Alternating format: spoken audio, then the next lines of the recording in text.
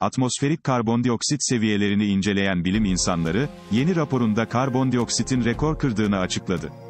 Isıyı tutarak dünyanın yavaş yavaş ısınmasına sebep olan karbondioksit gazının, bir dizi ciddi değişiklik yarattığı araştırmacılar tarafından söylendi. Dünya çapında etkili olan virüs salgınının nedenli ciddi olduğunu hepimiz süreci deneyimleyerek öğrendik.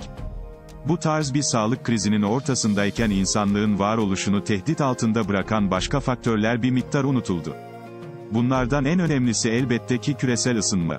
Uzmanların yaptığı çalışmaların sonuçlarına göre okyanus sularının ısınması, ölmekte olan resifler, güçlü fırtınalar gibi durumların hepsi, iklim değişikliğiyle doğrudan bağlantılı. Konuyla ilgili çalışma yürüten uzmanlar bu durumun doğru tedavi ve başarılı aşı çalışmalarıyla, kolaylıkla önlenebilecek virüsten bile tehlikeli olduğunu hatırlatıyor. Geçtiğimiz günlerde açıklanan raporlara göre, bugüne kadar ölçülen en yüksek atmosferik karbondioksit seviyesi, Nisan ayında kaydedildi. Ölçüm, atmosferde %17 bir karbondioksit oranına işaret ederek, bu durumun birinci sebebinin insan aktivitesi fosil yakıtların yakılması olduğunu, gözler önüne serdi. Karbondioksitin bir sera gazı olduğu biliniyor ve bu tarz gazların atmosferde birikerek gezegeni yavaş yavaş ısıttığı kanıtlanmış durumda.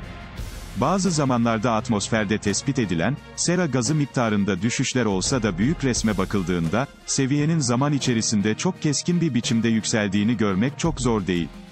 Bu durumun gezegene etkileri ise oldukça büyük.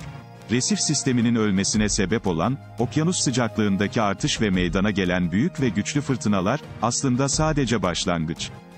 Kuraklık tehlikesinin beraberinde getirdiği yangınlar ve hem denizde hem de karada yaşayan pek çok türün yok olma tehlikesi, yine dayanılmaz iklim koşullarının bir sonucu. Bilim insanları aynı zamanda, karbondioksit seviyeleriyle ilgili geçmiş verilerin, 1950'lerin sonlarına kadar uzandığını ve o zaman kaydedilen bilgilerle şimdikilerin kıyaslanmasının, endişe verici sonuçlar ortaya çıkaracağını söylüyor. Verilere bakıldığında atmosferdeki karbondioksit miktarının, %31 arttığını görmek gerçekten de kaygı yaratıyor. Uzmanların konu hakkındaki araştırmaları hız kesmeden sürüyor. Bu konu hakkında daha fazla detaylı bilgi için, kanalı takip etmeyi unutmayın dostlar.